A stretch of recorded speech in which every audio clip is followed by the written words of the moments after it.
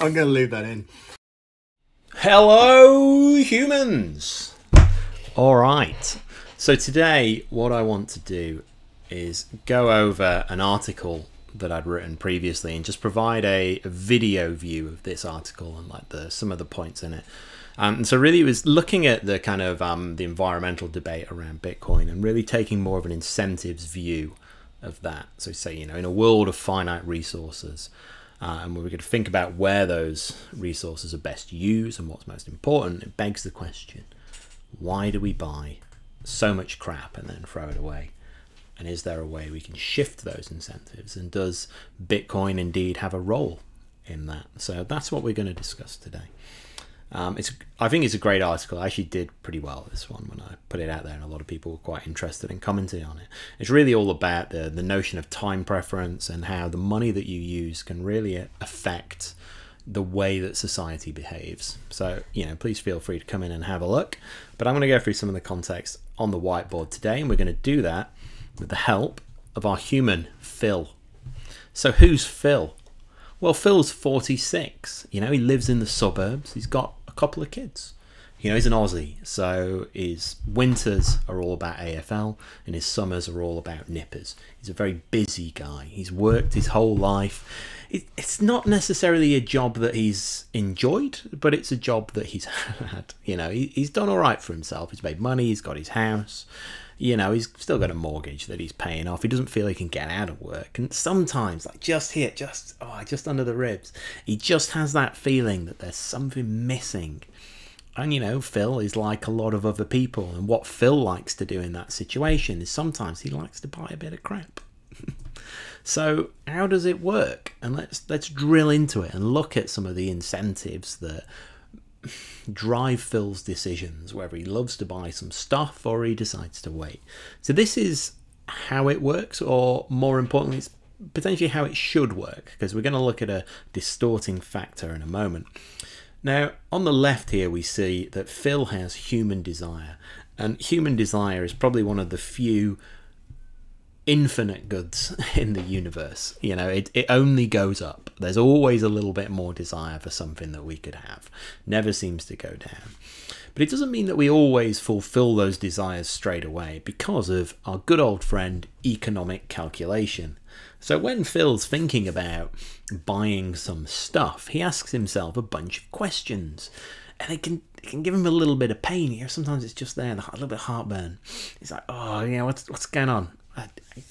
Can I, and the sort of questions he's asking himself are, you know, have I earned this? Like, do I actually have enough money available to me to pay for this? And when he thinks about that, he doesn't just think about the number in the account. He he thinks back and he says, "Oh God, those hours, those hours and hours of soul destroying drudgery that I had to go through to actually make that money. Oh my god, is it worth it for this fluorescent plastic surfboard with a shark propeller on the back that I'm kind of hoping will give the wife a bit of a fright in front of the kids? And he says, Oh, I don't know, I don't know if it is.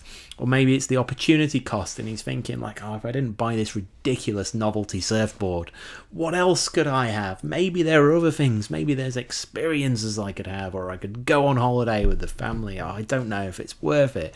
He says, you know, will it even last? I mean, it's a novelty surfboard. like, how long am I going to get out of this? And he says, oh, I don't know. He's just all this pain in his mind. And he says, like, 80% of the time, he, he's it's not worth it. He's just going to wait. 20% of the time, he actually thinks, yeah, I'm going to I'm going to buy the stuff. And that's the break that we we really want on society to say, look, nobody's making a judgment call about whether the stuff that you buy is worthwhile or not based on the inputs that you've put into it, which was at the end of the day your own time on this earth. You know, if you believe that it's worth spending that much of your time on earth to get this thing, then, you know, so be it. The only question that we ask is that you just consider whether it's worth it or not for you. Okay? Seems fair. Now, there is a distorting factor in the world right now, though, which is that we don't we don't work in a sound money situation. I've made the joke before that you know you can have sound money or unsound money. you know, like I don't know a person that would want unsound money. It sounds awful, like an unsafe ladder. Now, but we're going to move on and we're going to look at an unsound money world, which is the world we live in right now, where everything is really based on debt. So is debt going to come to the rescue? No, it's going to come to the not quite rescue, more to the fucking shit up in the long term for short term pain relief. So the way it works in the debt-based world is instead of just having the economic calculation to make and this pain that he has to ration with to say is it worth it, this guy, this guy's a real banker and he's going to come along and he's going to offer Phil some money. And Phil thinks, fan fantastic, free money. Like why? Why wouldn't I do this anymore? Like opportunity cost, opportunity must. Like it doesn't matter. I've got more money. I just get more money from that real banker over there that's giving away the money to me. This is fantastic.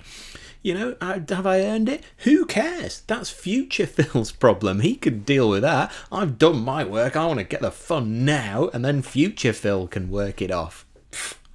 So, what happens in this situation of the free money is that all of us, I say free money, it's more like cheap money. You know, Phil, on his hamster wheel of working, gets access to a lot of future debt because people make the assumption that, yeah, he's probably going to keep working. And it's in the banker's best interest, strangely, to actually make more of those loans, even if they don't come back and pay. But you know, this is that's we'll get onto that another day. So the impact here is that we shift the incentives, and now 90% of the time, Phil's going to go buy the stuff, and only 10% of the time he's going to wait because we've really just ratcheted down the pain, which is interesting. But are there any other bad incentives that might might play into this based on debt? Well, and I'm going to say yes. It gets worse because it's not just the incentive that Phil has, it's the incentive that's built into the money he's using as well. So, because the money itself is debt, you know, dollars aren't backed by gold and they're not backed by Bitcoin or something that's real in a place that's got a limited supply. It's just debt. It's debt issued against future productivity or assets that may come into being. So, this debt is what what you have in your account. So if you have a positive account balance, you think I'm debt free, sort of. It's actually a liability of a bank, so you, you kind of just owed the money. now, this debt, when something's based on debt, the thing is you then owe a percentage against that. So built into the money is this notion of return. Then because you've got this return, this inflation against the debt, um, you have to issue more money to pay back the extra money that's based on the return the money that you owe. So if you owe a bond, which is how the money is issued, over 10 years and that pays 5%, well, you know, at a minimum, we're going to be paying back an extra 5%. So we issue more and more money over time. So the longer the, the money system stays in place, the more compounding money we have to issue to pay off the debt on the money that we already owe. And so what that does is if you look at a value of a dollar against gold or against certainly against Bitcoin or just against general goods and services over time, you'll see that since we moved to a debt-based system, it just goes down over a long period of time. So the value of all debt-based money tends to trend down against goods and services in the economy unless you have a really thriving economy with a lot of stuff getting put out there and just driving down the costs. Now, the problem with that is if the value of your money loses over time, well, you know, you've got an extra incentive to spend the money that you've got. Because if you wait and hold money, then the value of the thing that you want to buy is likely to go up against that money over time. So it makes no rational sense to save up money in an account to wait to buy a house. Instead, it makes a lot more rational sense to say, screw it, I'm just going to get the debt, buy as big a house as I can because the house is going to hold its value better than my debt. So again, we're incentivizing people to buy, buy, buy now instead of save. And so, what I want to point out is that it really brings two worlds to light. So, we have one world, which is our sound money world, which is your sort of gold standard, your Bitcoin, where you're incentivized to earn before you spend. And deferred consumption is rewarded. So, if you don't spend your money, your money becomes more valuable and you can buy more with less money in the future. So it incentivizes you to not just go out and make rash purchases, but instead to hold on to your money because it will buy more in the future. And it actually also works well in a deflationary environment. So if less is produced, it, it doesn't matter. It, it won't fall over. The system won't crash. Now, in the debt money world, you're now encouraged to spend before you earn. Waiting is punished.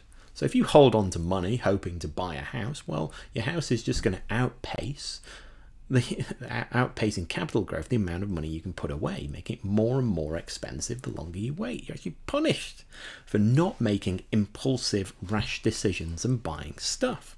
And then finally, we've got that it requires growth and inflation. So as we just went around in the little debt loop there, it's built in. By issuing money as debt, we have to issue more money as debt to pay off the yield on the debt we previously issued. And that just compounds over time and we get less back the longer it goes on. So the question I first ask you is, well, which one do we think is going to drive better incentives for reducing the amount of overproduction in the environment and making sure that we're only really producing where it's required and solves a problem? I'll let you make that decision. But before we go, I just want to leave you with one more final observation, which is to use the Anakin meme. You know, cheap debt leads to overproduction.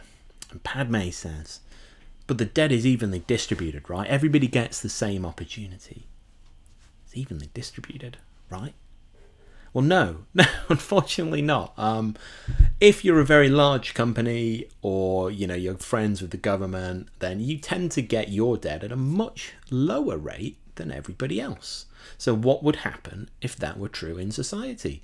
Well, you might see huge global conglomerates appear because they actually get access to cheaper debt, which allows them to buy more things more cheaply than their competition. So, that could be access to facilities, it could be investing in new infrastructure, or it could just be buying out all of your competition and just quashing innovation and growth. So if we were in that world, what we might see is things like, you know, Amazon get enormous, just buy out all the competition in the high street and deliver that service because mum and pop over here just don't actually have access to the same cost of money as Amazon do. They could try saving, but we already know that their savings get devalued and it's just an unfair sort of playing field that's going on there. So you'd expect to see this bifurcation in wealth in society where few very large players get larger and larger and larger because of cheaper access to debt. It allows them to buy up the assets and their competition, making themselves larger and larger. And that's bad because that exasperates the wealth gap in society. And what we tend to find is when the wealth gap in society goes up and up and up, we lead to war and revolution. So it's not something that we should be cheering on. All right, fantastic.